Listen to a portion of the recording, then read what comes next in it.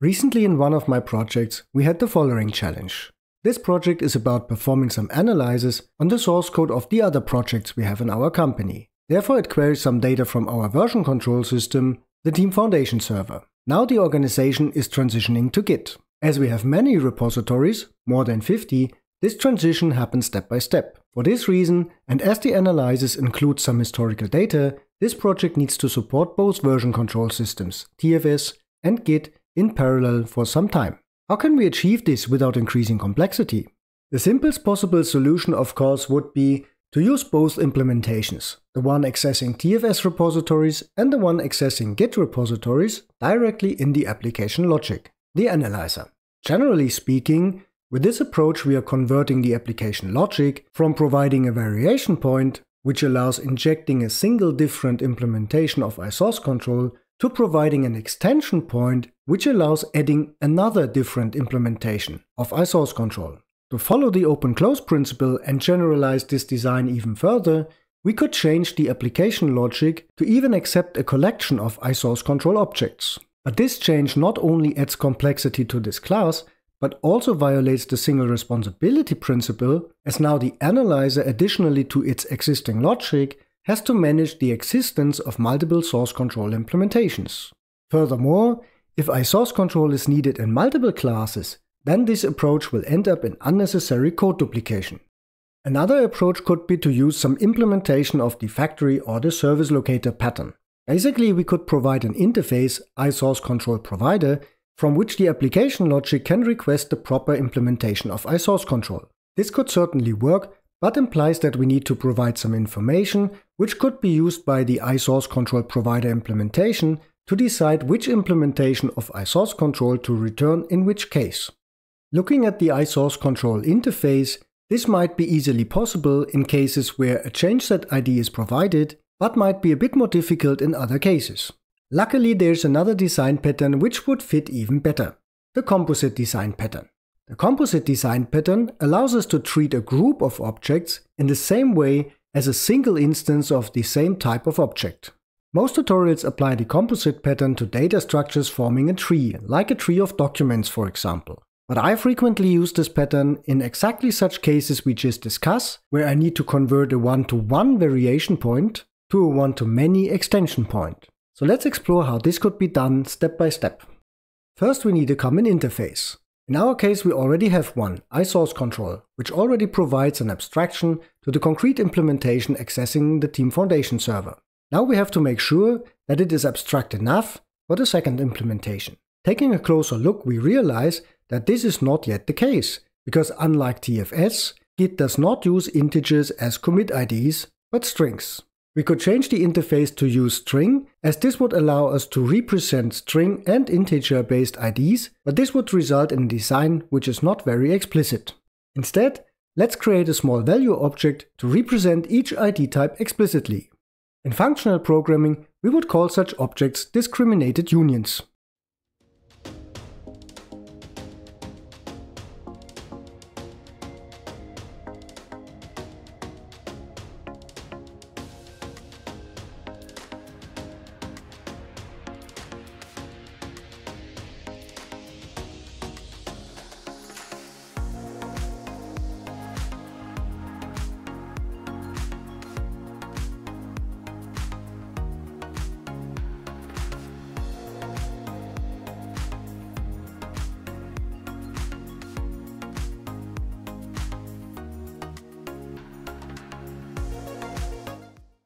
Of course we now also have to adapt the existing implementation of the iSource control interface.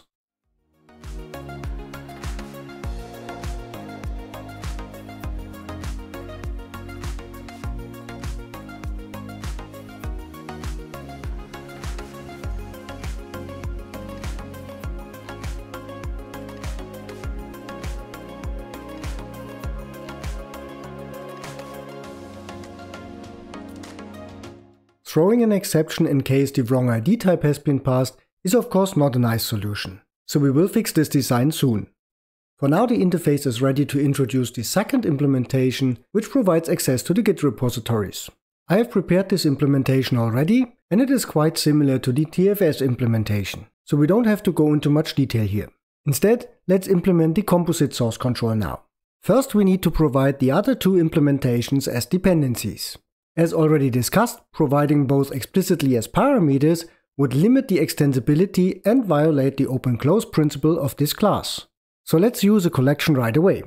Okay, so how do we resolve the correct implementation to call? Wherever possible, we simply don't. And instead, we ask all the source control implementations and return the union of all results. And in case of APIs which provide a single return value, we have to decide. A strategy which is often used is first one wins, which means the first valid value which is returned will be returned overall. To make it even more explicit what a valid value is, we will use another design technique, the option type. If you are not familiar with the option type and you are curious what it is about, then make sure you watch till the end.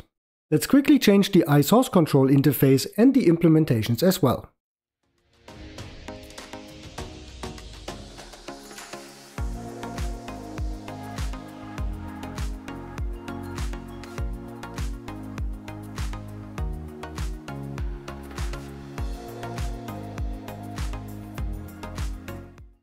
At that point we can now also use the option type to improve the handling of those cases where an unsupported ID type was passed.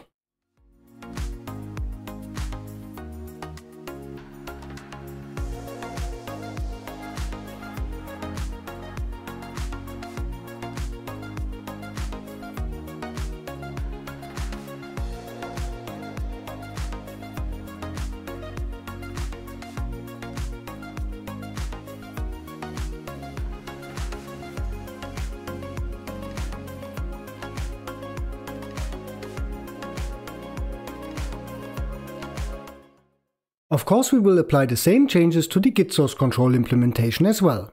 And here we go. Our application logic supports multiple version control systems at the same time. And apart from the interface design improvements we made along the way, we didn't have to change the application logic itself and also didn't edit any complexity. So keep the composite pattern in your toolbox for the next time you want to add extensibility to a component. And if you now want to know more about the option type and how your design could benefit from its usage as well, then check out this video here.